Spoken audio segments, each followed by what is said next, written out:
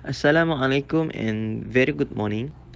My name is Muhammad Azwan bin Baharuddin. So today we are going to discuss about conservation biology.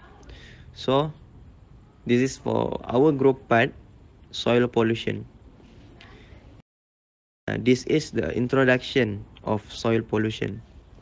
Soil pollution appears when the concentration of pollutants on the surface become so high that it harms and biodiversity and endangers health, particularly through food.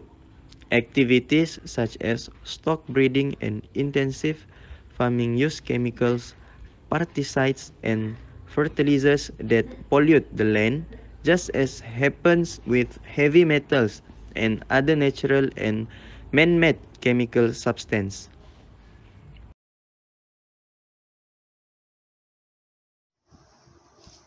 Hi everyone, I am Shahril and I'll be presenting about the types of soil pollution. Phenomena such as erosion, loss of organic carbon, increased salt content, compacting, acidification, and chemical pollution are the major causes of current soil degradation. Moreover, the Food Agriculture Organization distinguishes between two types of soil pollution specific pollution and accounted for by particular causes occurring in small areas for the reasons being which can be easily identified. Land pollution such as this is normally found in cities, old factory sites, around roadways, illegal dumps and sewage treatment stations. Widespread pollution, which covers the extensive areas and has several causes for the reasons being which are difficult to identify. Cases such as this involve the spreading of pollutants by air, ground, water system and seriously affect human health and environment. Examples of soil contaminants. There is a large variety of pollutants that could poison the soil. Examples for the most common and problematic pollutants are as such lead, mercury, arsenic, copper, zinc, nickel, and herbicides or insecticides. That is all from me. Thank you. Hello, my name is Nurhajarani Susrani and I'm going to talk to you the main causes of soil pollution that are mostly related to land pollution. First of all, industrial activity. Industrial activity has been the biggest contributor. Whether it is from iron or coal, the byproducts are contaminated and they are not disposed of in a manner that cannot be considered safe. As a result, the industrial waste lingers in the soil surface for a long time and makes it unsuitable for use. This concludes that the more solid waste that will appear in this earth, the lower the quality the soil will have in the future. Next, agricultural activity. The utilization of chemicals has gone up tremendously since technology provided up with modern pesticides and fertilizers. They are full of chemicals they are not produced in nature, so they cannot be broken down naturally. As a result, they seep into the ground after they mix with water and slowly reduce the fertility of the soil. This can make the plants becomes less less uh less fresh than it already has before by using organic fertilizer. That that's only my theory, but it is a is more to a fact. Next up, waste disposal. Every human produces a certain amount of personal waste products by way of urine and feces. While much of it moves into the sewer system, there is also a large amount that is dumped directly into landfills in the form of diapers. Even the sewer system ends at the landfill, where the biological waste pollutes the, soil and water. This is because our body are full of toxins and chemicals which are now seeping into the land and causing pollution of soil.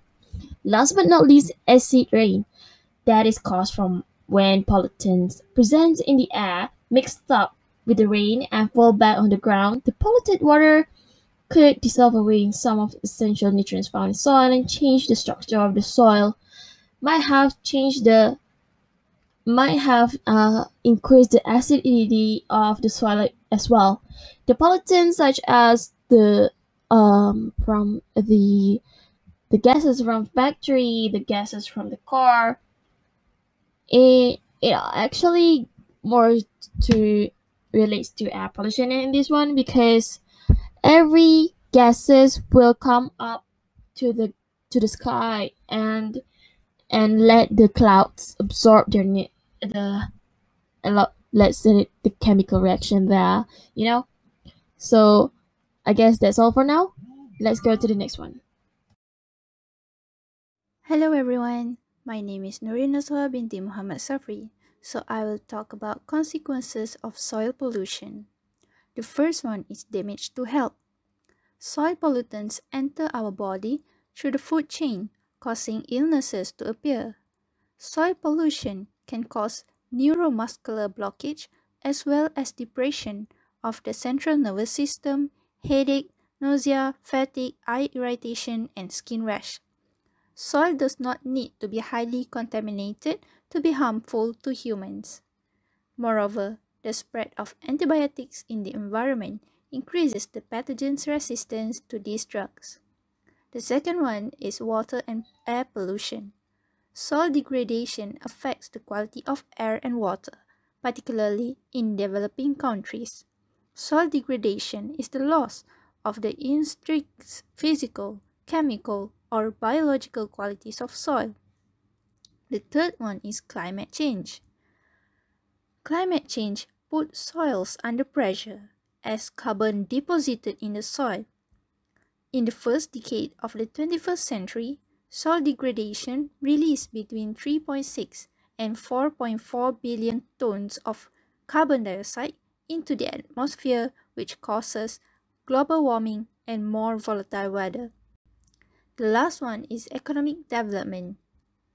Economic development damages soil and makes areas more prone to drought. Global economic losses caused by soil degradation are expected to exceed 10% of the world's annual gross domestic product GDP. So that's all from me. Thank you. Hello everyone, my name is Nur Afiqah Binti Abdul Bari and I will be explaining the solution on how to reduce soil pollution.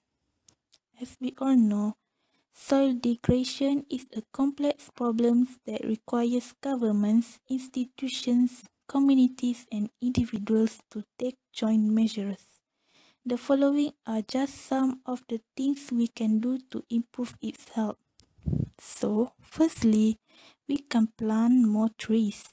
The effects of acid rain and floods can wipe out healthy soil in the absence of trees, which would otherwise help absorb and maintain these waters and the toxins that come along. Through reforestation efforts and planting new trees and vegetation in the areas that are at risk to erosion, soil pollution can be further interrupted. Next, we should use natural alternatives to toxic substances.